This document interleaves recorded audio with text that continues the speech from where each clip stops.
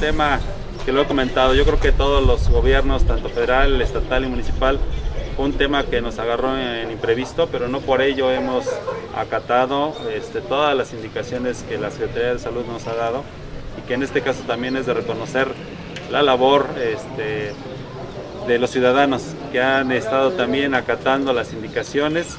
Entendemos que para nuestro municipio es un poquito complicada la situación, puesto que la mayoría son ciudadanos que se dedican al comercio, son ciudadanos que se dedican al campo y que vivimos al día. Y que hay gente que tiene que salir necesariamente a, a buscar el sustento diario de su familia, pero que la habrá atendido las medidas. En este caso llevamos una inversión en promedio de 450 mil pesos invertidos precisamente que se han destinado para la compra de cubrebocas, gel antibacterial, la difusión en perifoneo, en mantas, en trípticos y que en este caso también la sanitización de todos los espacios públicos del municipio.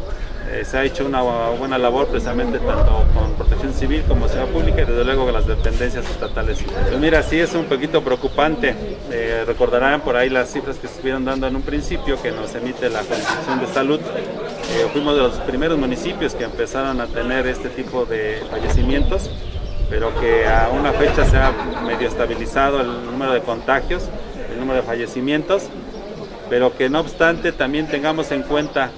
que de acuerdo a las cifras estamos con siete fallecimientos por esta enfermedad en el municipio, pero que también nosotros tenemos ahí datos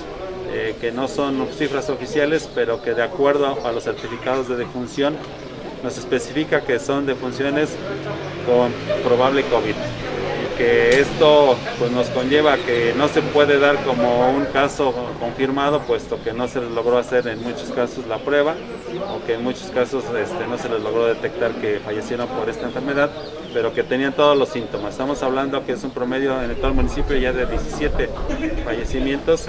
que tenemos ahí ubicados, pero que no están confirmados, pero que son probable fallecimiento por esta. Ya son siete este, fallecimientos confirmados en el municipio y digo, la verdad es que